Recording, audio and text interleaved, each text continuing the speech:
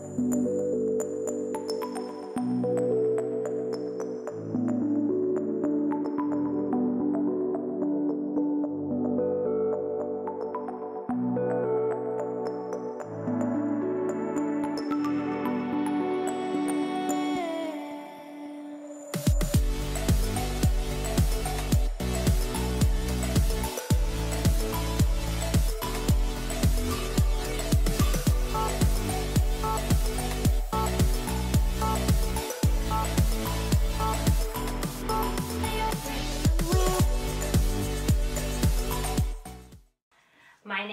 is Elizabeth Walker, and I am owner of Elizabeth Sarah Collections, a jewelry design company that I created and about 10 years ago.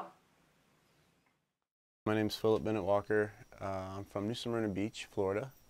Um, I'm an American artist uh, trying to make my way in the art world.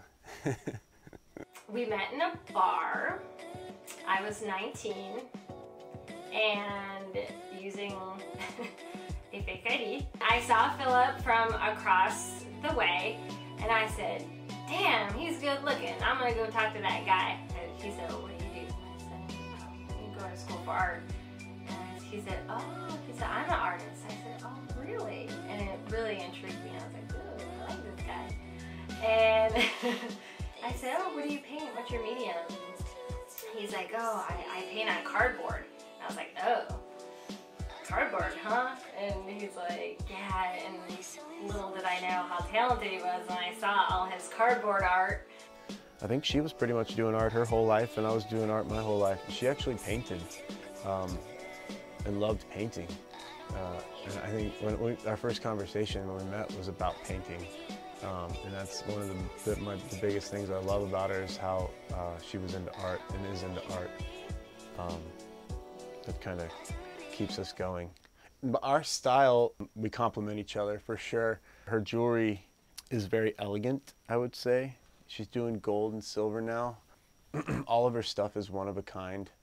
So you don't have, you know, a hundred other girls out there or ladies out there wearing it. I think because of that, it makes it pretty exclusive to each person that buys one. I got my start in 2001 with an artist in Carbondale, Colorado. Then I worked for her for about a year, and throughout that year, she slowly taught me the trade of um, the wire wrapping technique that I use in my design today, which dates back about 2,000 years. It's the last wire wrapping technique that a machine can't duplicate even in 2015. So I feel really honored to produce jewelry that is genuinely handmade and can't be reproduced. The gemstones themselves come from all over the world, a lot of South America, um, pearls mainly from Asia, and uh, I use a semi-precious gemstones, freshwater pearls. Um, all my metal is either sterling silver or a gold vermeil, which is sterling silver with an overlay of um, either 18 or 22 karat gold.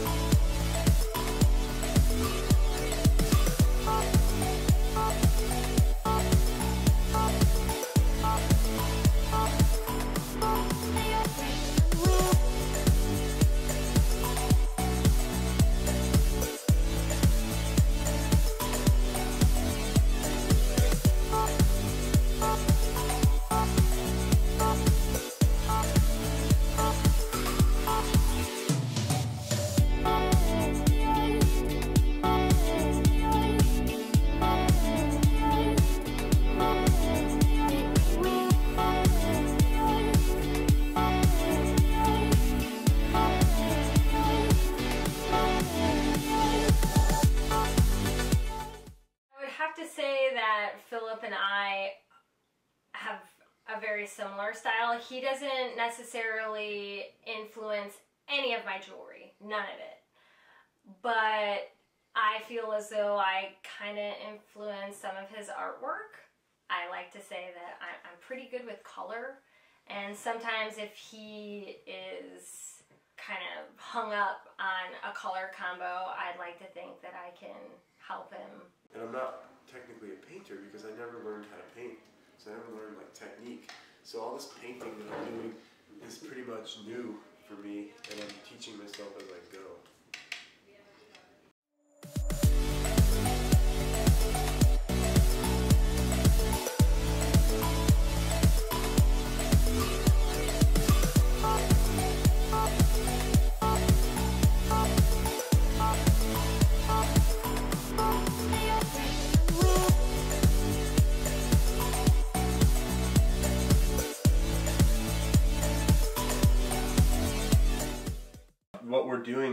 People don't realize that 80% of what we're doing is the marketing and driving and setting up and selling and, and, and getting off work to work another eight hours and then waking up the next morning to like fill those orders that you made the night before before you go back to work. And and that's 80% of it. Like 20% is, is making it and saying i'm an artist come buy my stuff. Like 80% is getting to that point where people will come buy your stuff and um, presentations everything social media is very important to us. We definitely depend on gaining followers every day. More and more people. The more people that follow you, the more people that like your your your posts, and and hopefully um, gain revenue and, and bring in people to your website.